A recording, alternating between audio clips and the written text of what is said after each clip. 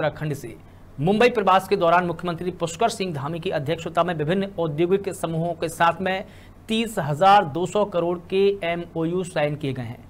Summit से पहले देश विदेश में लिए गए अब तक सभी रोड शो में एक करोड़ चौबीस लाख करोड़ के करार किए जा चुके हैं। बता दें कि 8 और 9 दिसंबर को उत्तराखंड में ग्लोबल इन्वेस्टर समिट होने जा रही है, जिसमें सरकार ने तकरीबन ढाई लाख करोड़ के निवेश का लक्ष्य रखा है। इस लक्ष्य की प्राप्ति को लेकर मुख्यमंत्री पुष्कर सिंह धामी देश के साथ साथ विदेश में भी बड़ी कंपनियों से करार कर चुके हैं, जिसके तहत अब तक बारह लाख बयालीस हज़ार करोड़ के एमओयू साइन किए जा चुके हैं, जो कि 2018 में हुई इन्वेस्टर समिट से सर्वाधिक है। 2018 में कुल बारह लाख चार चार हज़ार करोड़ रुपए के एमओयू साइन हुए थे।